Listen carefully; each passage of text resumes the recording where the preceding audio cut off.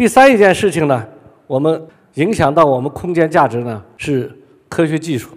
为什么科学技术技术很重要呢？我们假定还是在这间房子里，大家就在这培训。我们假定今天没有空调，我们数九寒天没有空调的时候，大家还愿意来吗？我相信一半都不来了。你看，行为没改变，空间没改，技术很重要。你没取暖，就没有这个技术，就导致了一半人就不来了。一半人不来，那这个需求立即就减弱了。减弱了以后，你这个租金就下来了。所以这个技术呢，会创造大家对空间的一个需求。为什么？假定说我们在这儿，大家知道，在我们目前假定说你去个 KTV，你会发现空气很浑浊，对吧？没有窗户，没有新风，人很难受，唱一会儿都晕过去了，对吧？但是呢，如果你的这个夜场里边把空气调到像森林里一样，鸟语花香的，空气清新。流通流动的新风非常丰沛，你就愿意去坐一晚上倍儿精神，而且身体还健康，还吸氧，还有负离子，还有各种你呼吸的全是有益的空气，你身体特别好。假定说你开个夜场，就这一条，我相信很多人都愿意来。在美国，因为它的夜场其实很多都竞争空气，不是竞争我们这个大都会什么天上人间的霓虹灯，它不竞争这玩意儿，它就是进去以后空气倍儿新鲜。然后层高比较高，空气特别好，哎，这就是技术。再有一个，假定说我们有一个技术，你坐在住宅里，同样一个住宅，我的水超级健康，这也是技术。我提供了一个技术服务，那我的水特别好呢，大家愿意在这买房啊。我们在纽约做房子的时候，它就有一条规定，后来我们才发现，它就是。凡是跟人的身体皮肤接触的东西，都只能用美国的，不能用外国的。就是水喉，比如说啊，水管儿，另外墙、墙纸这些呢，尽量他们都是用本国的。为什么？他们认为咱们技术不行，啊，咱们这里边的，比如说弄个水管儿，或者喝着喝着喝出别的味儿来了，比如橡胶的味儿来了，喝出别的味儿来，那对身体就不好。所以技术呢非常重要。如果我们呢在同样的空间位置、同样的行为发生的时候，你这个技术非常好，使我们在里边的安全感、舒适度、便捷性都非常好，这个空间人就愿意来，愿意来就愿意付费。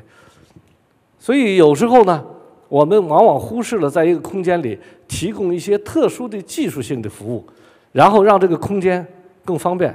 你比如说。我们现在有很多空间很不方便，T 三，比如我昨天飞机回来，然后我在深圳机场就倍儿远，深圳机场现在巨大，一走半小时，你还得弄个电瓶车，然后到这边没电瓶车又得走这么远，这就是，但是如果你有一个一种技术，对吧，创造了一种便捷性，那么当然大家就愿意来，否则大家就觉得哎，现在北京 T 一挺方便，对吧？很小，但是呢。它便捷性好，那这些呢？便捷性啊，包括舒适度、安全感啊，这些都是有些技术可以改变的。当你的空间位置不能改变的时候，当行为不能改变的时候，你改善技术，除非是在一些特别的地方，技术有时候可以忽略。你比如说在八宝山告别厅，我老说这个事儿，因为我早期时候我经常去，去干嘛？我也不知道，有时候去帮人办事儿，人家妈死了，我也跟着哭。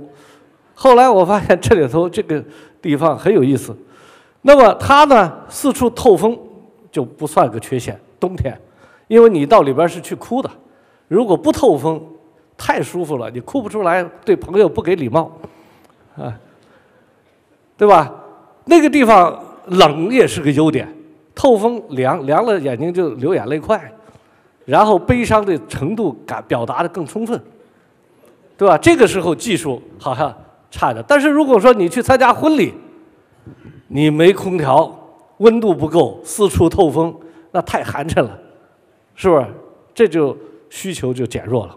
所以在一个空间里，技术大家不要忽视，它会创造需求，哎，会创造人们对这个空间的一个粘性。你比如说，现在在国外跨国公司，他租用写字楼的时候，他们非常有趣，就一定要绿色建筑。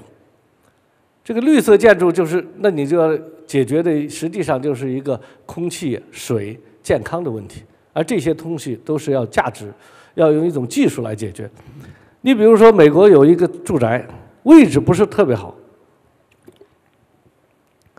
有仨人研究了一套 know how，这就是技术和方法。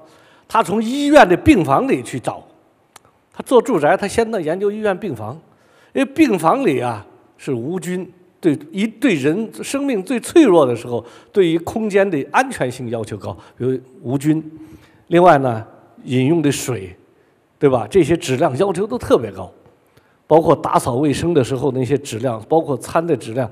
所以他就从医院去看，长期看医院有哪些东西对人的健康是最重要的，做了很多观察，最后做了一整套的服务标准，就健康住宅的服务标准。他把这个再加上其他的，所以他整个这个房子空间没有改变，行为没有改变，还是住，但就是用了一套新技术，让你在里边。非常之方便，非常之舒服。比如你自己在阳台上，在哪个地方种的这个菜，这个菜底下的肥是怎么来？这个东西最后又转化成餐桌上的东西，又转化到中水，反正它就全是，你感觉就是一个由技术创造了一个新的一种生活方式。于是这个房子就卖的非常贵，它不是一般房子，位置、行为都没改变，就是贵。所以一个技术会带来新的体验。新的享受和新的一个生活方式，所以使同样的空间增加的钱并不一定很多，所以成本并不一定特别敏感，但是就带来了新的需求。